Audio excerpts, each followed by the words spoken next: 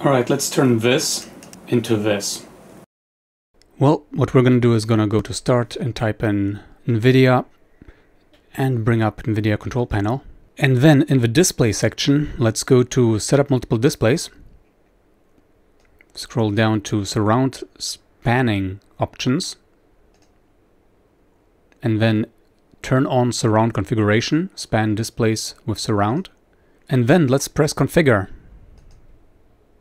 This will require a bunch of applications to close. So let's close them. I don't know what IGCC is, something about internal graphics card settings. Anyways, I'm gonna kill that as well. Yeah, it's something about Windows apps, app up Intel, some, some Intel thing. So I'll just kill it in Process Explorer, in Task Manager, I mean. Alright, so that's done. So now we can press continue. Alright, so now there's a huge 1 on the left screen and a huge 2 on the right screen. Let me show you the right screen. Here it is. Uh, that 2 is just hanging in there over everything else. Let's go back to screen number 1. Alright, so this is how it works. Let's set check... Basically, here you pick whether it's 1 by 2 or 2 by 1. And then we're going to pick the left, uh, this one, and then the right. Yeah, I'm used to this first number being the x-axis. Apparently this is the y-axis. So let's do 1 by 2. And turn on number 1 and number 2. Alright. So this will be the resolution. This will be the refresh rate.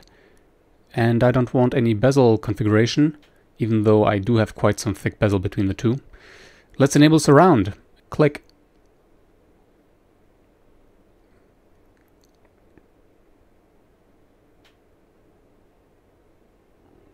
Hey, it actually worked. Let me just uh, transform, fit to screen. All right, now, now it works, yes. Now both screens are connected. I mean, this I could have done before, but let us now start a game. Uh, we can close this now and close this. Let's run a game. Is this gonna screw up the resolution? Oh, it kinda does. It's all stretched. Uh, yeah, let's see if we can set the resolution to... Yeah, we can. Nice. 32 by 9. Apply. Yes, this looks better. And last save. Here we are.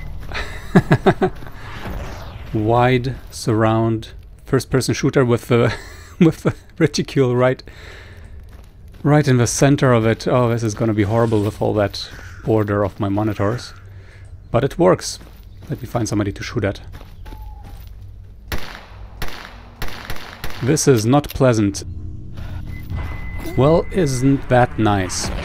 Right, so this is how you do it. I don't know if you want to play like this, but you certainly can try if you want to. Well, enjoy playing games at ultra wide resolution or ultra wide aspect ratio. Leave a like if this helped you, and maybe I'll see you in another video if you happen to need help with something I happen to have made a tutorial for.